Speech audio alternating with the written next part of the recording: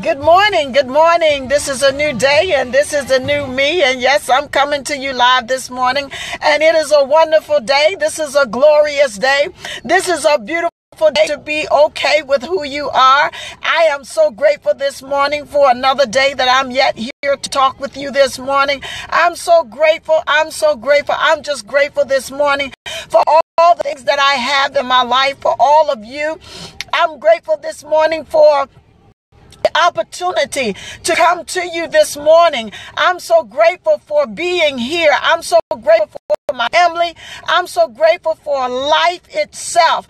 I'm just loving life and I'm just thankful to God this morning because He woke me up this morning and He didn't have to do it, but He did. And I'm so that I woke up with the right mind to give him glory and to give him praise and to be thankful. And I woke up with an attitude and a grat- of gratitude and thankfulness this morning. And I didn't have to wait up this one clothed in my right mind. I didn't have to wake up from a good night's sleep. I could have tossed and turned, been tormented all night, but I did not. God blessed me to get a good night's sleep. And that's a, a, awesome thing when you can get a good night's sleep. Some people are struggling to go to sleep, and that's one thing I, I really want to say to you this morning. Be grateful for everything that you have. Be thankful for everything. We take so for granted the little simple things in life. Just the matter of being able to lay down and go to sleep at night. Some people cannot sleep. They can't even close their eyes for 30 minutes. They want to go to sleep, but they cannot sleep. So just that little simple thing of being able to go to sleep at night and to get a good night's rest and then to get up in the morning and be able to do your routine in the morning. That's some things that we take so for granted. And the topic this morning is accepting yourself totally. Good morning, Demetria Cuz. It's good to see you this morning. I love you and you have a blessed day as well. Good morning, uh, Mr. Bennett. Vice Bennett, it's good to see you with me this morning. I'm so grateful that you took time out to tune in for this morning. I'm for life because I don't know what day or what my life required at my hand. So I'm just being grateful this morning because everything that I have is not of my own accord. It's because God has been so good to me and allowed me to have these things. And yes, it is awesome to know that I serve God that is able to pro- supply my every need and to meet me right where I am. No, I don't do everything right. I don't cross all my T's. I don't dot all my I's. But you know one good thing about it? He'll hold me accountable. He loves me in spite of what I do, where I fall, when I get up, and how I stumble. He still loves me. And if he does it for me, he do it for you just as well. So this morning I want to read a little extra. I want to say to you, when you accept yourself totally, when you totally accept who you are and you okay with who God made you to be, the world cannot stop you. No one can stop your momentum. When you are totally accepting who you are, the way you are, and you are okay with how you feel about yourself. The world, no one can stop you from achieving your goals. When you set your goals and you're comfortable with who you are, you no longer look for approval from no one else. You no longer look for somebody to co-sign what you say. You are able to stand in who you are and you walk boldly and proudly as who you are. Sometimes we give way too much to what other people think about us and what they say. Listen, my friend, I just want to say to you this morning, be okay with who you are. Accept who you are today. Go this day saying, I love me. I'm okay with who I am. I just love God me. I'm excited about what is going to happen in my life. I just know God loves me so much that listen, you got to know this within yourself. You got to be okay who you are. Sometimes we hold things against ourselves that we need to let go. We make mistakes. Yes, we all do. So don't hold it against yourself. Let it go. Because when you let it go, you free your own mind from the bondage that we have ourselves in. We think other people are holding us in bondage. 99.9% of the time, It's you holding yourself in that place. So let it go. Release it today. Accept yourself for who you are. If you mess up, it's okay. Get it right and keep it moving. Let it go so that you can heal within. Sometimes we just have to take the time, sit down, look at where we're going, figure out what we want to do. That's number one key. You got to know what you want in this life. How can you achieve a goal when you don't even know what you want? You got to know what you want.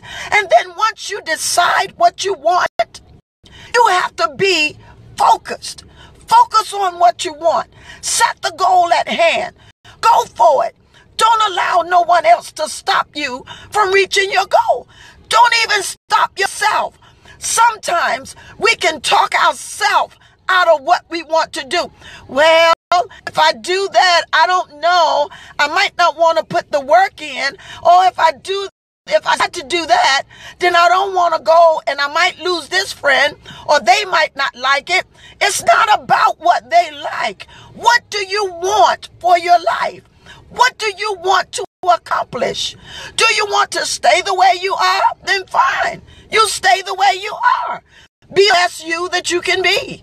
So listen, you have to totally accept who you are so that you can go forward. Stop looking for other people to make you happy. You have to make yourself happy. Happiness comes from within. If you're not happy, then you need to go inside, look at yourself, and say, okay, what do I need to do to get past where I am now? What situation, if a situation arises today and it's not pleasing to you, instead of blowing off the handle, stop.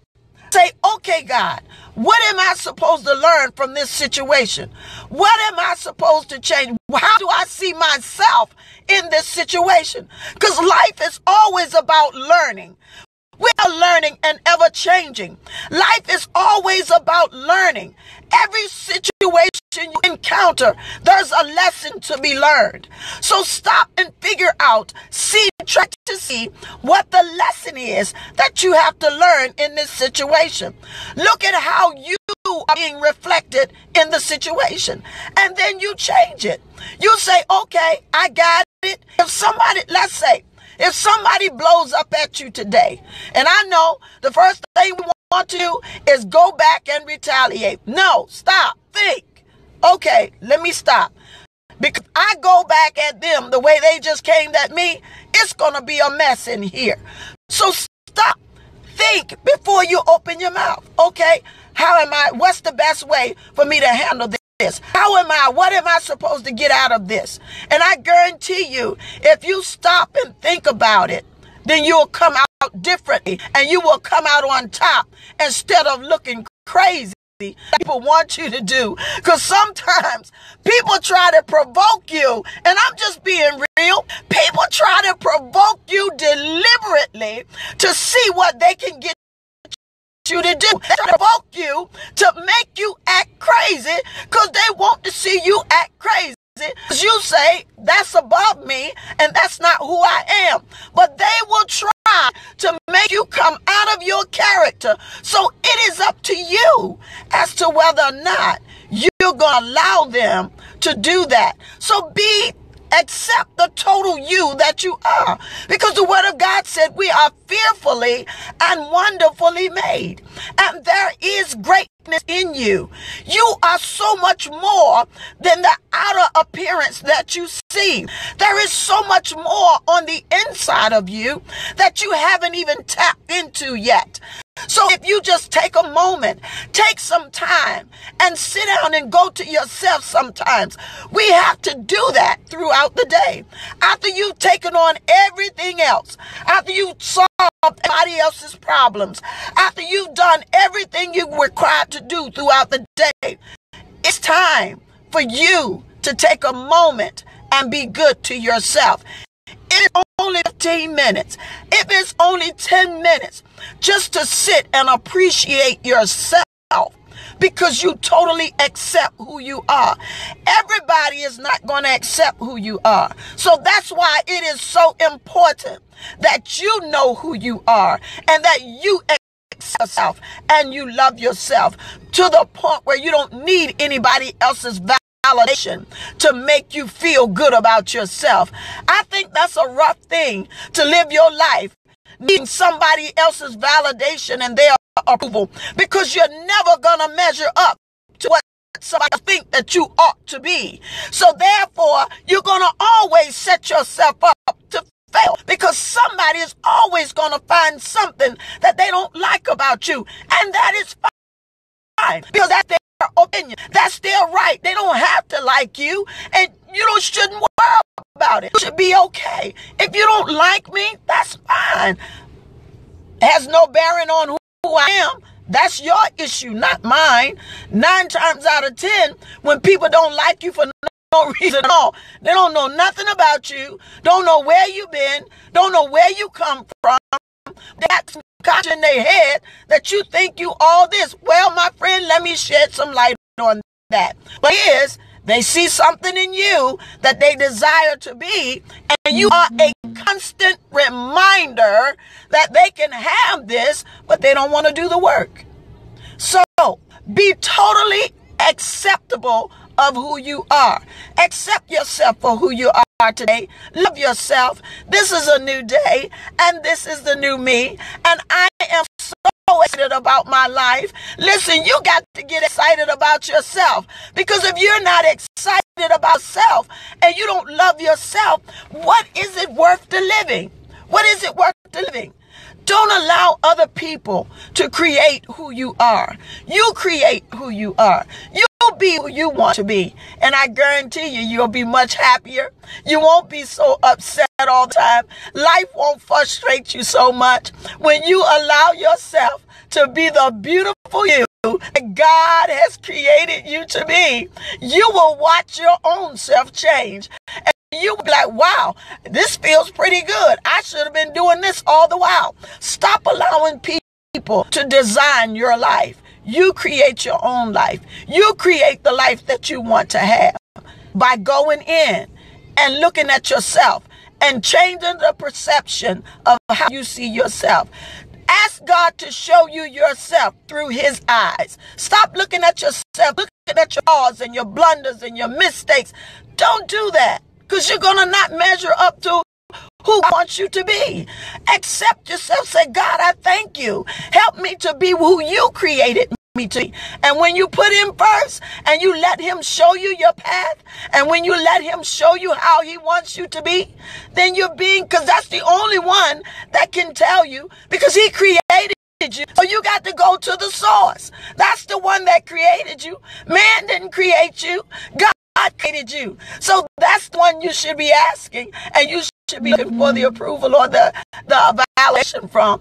That's the one that's going to give you the right path and the right road to take. All right, this is a new day and this is a new me. And I'm so excited for all of you that came on today.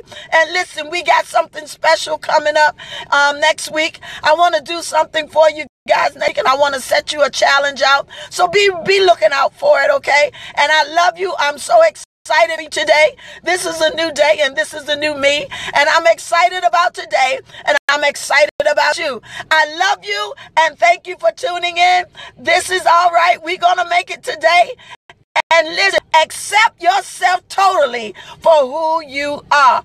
Be the best you that you can be. God bless you and I love you. Bye bye.